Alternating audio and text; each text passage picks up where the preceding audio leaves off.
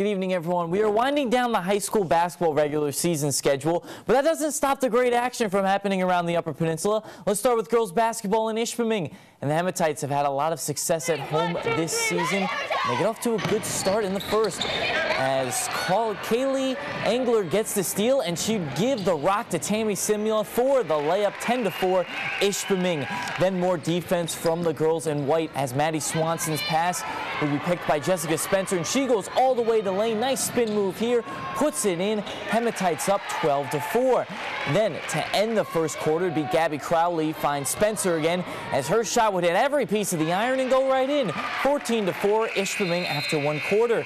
Then the Purple Hornets coach Scott Lloyd got his troops ready for a comeback because Morgan Skyda would get picked by Maddie Swanson, and she goes all the way in for two. She's wagging her tongue like a mad dog out there. L'Anse only down 14 to 7. Then Swanson on the break. She finds Kelsey Ross for the step back jumper that hits nothing but nylon. Purple Hornets down 20 to 12. And while L'Anse makes a comeback, they can't overcome the Hematites as Ishpeming goes on to win 40 to 39. And we go cross town for Norway at Westwood at Ishpeming Township and we go to the first quarter there. Patriots playing some defense. Elizabeth Van Buren gets the steal out of nowhere, and she goes coast to coast for the lay-in as it hits every part of the iron. Westwood up 15 to 4 early. Then off the inbounds play, Alexis Forcini, Katie Rankinen, and she'll cash in those three points from beyond the arc. Westwood up 18 to 4. But Norway makes a run in the second quarter with nice ball movement. Leah Matson finds Rachel Connery for the jumper here. Knights down just 20 to 8. Then more from the Knights as Matson would throw it across court to Shelby Madnick, who drives baseline and throws a sweet floater that goes right in. Knights go on an 11-0 run to cut it to 2015, but the Patriots have a big third quarter, outscoring Norway 14-3 and go on to win this one by a score of 43 to 28. To the scoreboard we go. We did not hear from Menominee and Kingsford, but Calu Houghton beats Calumet 64 to 62. Kelsey Richards fouled with 0.3 seconds left, makes the free throws for the win there. Forest Park beats Iron Mountain. That's reversed, excuse me there, 68 to 31 because Lexi Gussert finished with 36 points and Tennessee and UConn was in attendance for the game. Then uh, West Iron County beats Hancock 50 to 28. Chassell beats Jeffers 38 to 35. Then North Central beats North Dickinson 54 to 41. Mid Peninsula beats Rapid River 57 to 31. Baraga falls to Ewen-Trout Creek 46 to 41. We did not hear from Dollars Bay Watersmeet.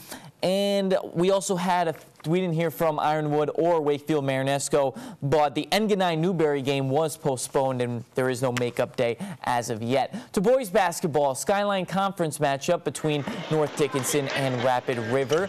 And the Rockets go off to a good start in this one. Jake Pearson gets the basket and the foul. The Rockets have their early 10 to 4 lead. Then moments later, it would be Pearson again.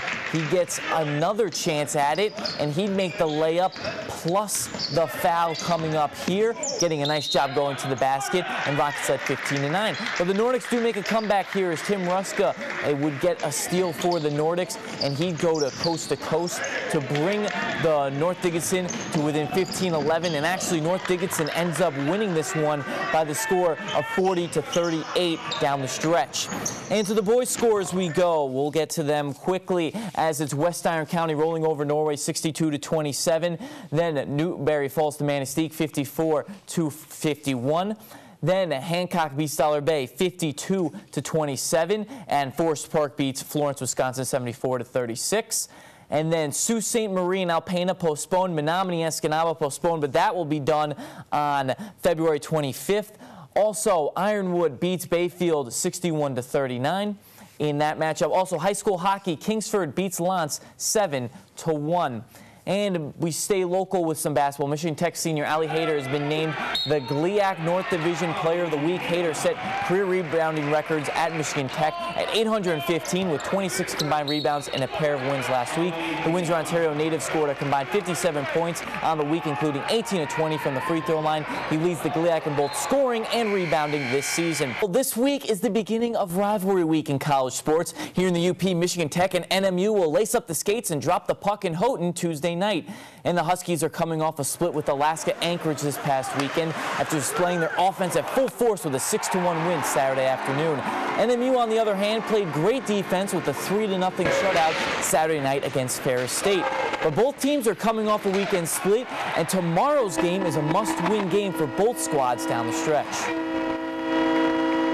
Well, it's a big game for us, you know, uh, it looks good in the middle of summer when you schedule it, you know, and you think, oh, it's a good time, but now, you know, I'm sure Walt and, you know, myself, it, it's a quick turnaround, uh, you know, it's an important game, it's a rivalry game, and, and then we both have big games on the back end of it, so, um, you know, we're both going to be excited to play, it's going to be a, a good hockey game, we had a good hockey game Marquette with them, so, but it's a rivalry game, our guys know the importance of it, and they're going to be excited to play.